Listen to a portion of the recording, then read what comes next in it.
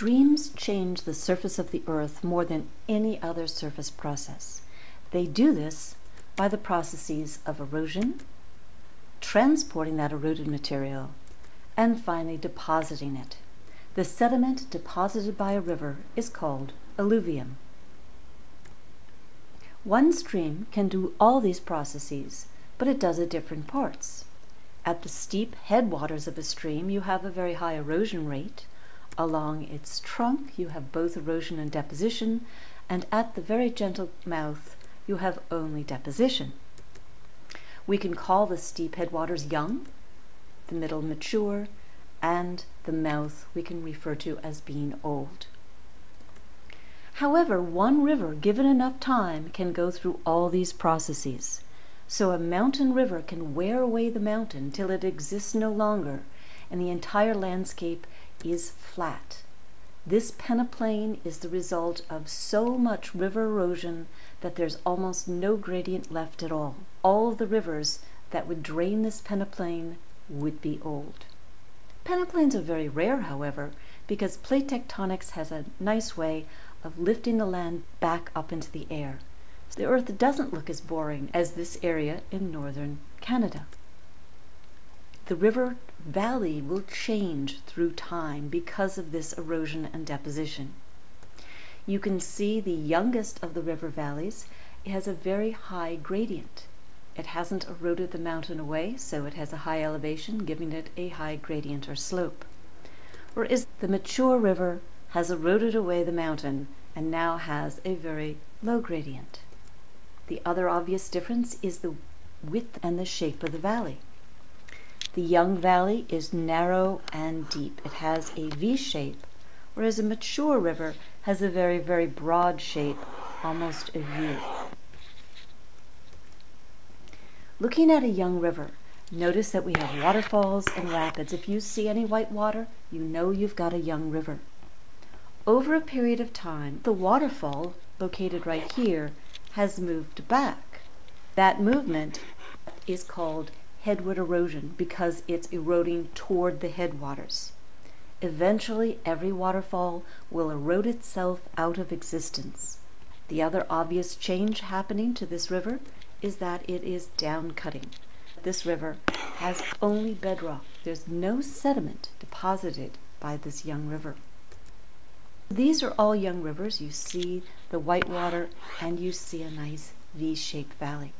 Eventually, of course, the river slows down and starts depositing some sediment. First, it might be just a sandbar on the inside of a slight curve, but eventually that sediment becomes a wide floodplain. Plain Plain because it's flat, flood because it's covered in water during floods if you have a floodplain, then the stream starts to loop along it. These loops are called meanders. And when a meander hits the side of the bedrock, it erodes it by lateral erosion. But we're also starting to form some tributaries.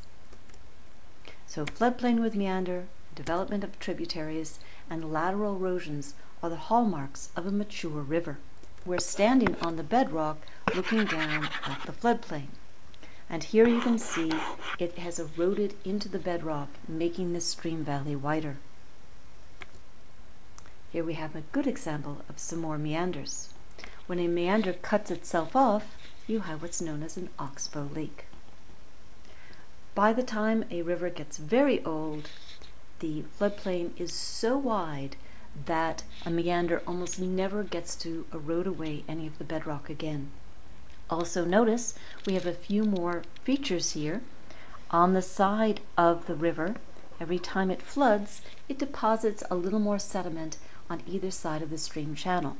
That becomes a natural levee. The tributaries have a hard time getting through to the stream, so very often they will parallel the stream for a while before they join it. Those tributaries are called Yazoo streams or Yazoo tributaries. Some of these oxbow lakes are drying up and it becomes very, very swampy. So here we have one of the best examples of an old river, and that is the lower Mississippi. The floodplain is gigantic. And here we have a river called the Yazoo River. which has given its name to those tributaries that flow along the floodplain. This is a natural levee. It doesn't look all that impressive, but all it has to do is be a little bit higher than the floodplain around it, and it prevents the water in the floodplain from draining very well. We often take the sides of the river with their natural levees and we make a much larger levee, an artificial levee, to prevent the rivers from flooding. You can see the swampiness along the floodplain of the Mississippi River. This back swamp probably received a recent flood because you can see the high water mark on the trees. By the way, if you have trees, you call it a swamp, and if you have only grasses, you call it a marsh. Along the Mississippi, they tend to refer to the swampy areas as the bayou. Here's a summary of all the features I just talked about. Whether a river is young, mature, or old, it's a gradual process that could happen in different parts of one stream, or it could happen to one stream over time, making a young river become mature, and finally, an old river.